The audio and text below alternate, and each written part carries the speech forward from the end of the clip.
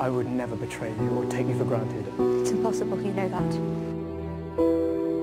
And you would care what they think after everything they've done to you.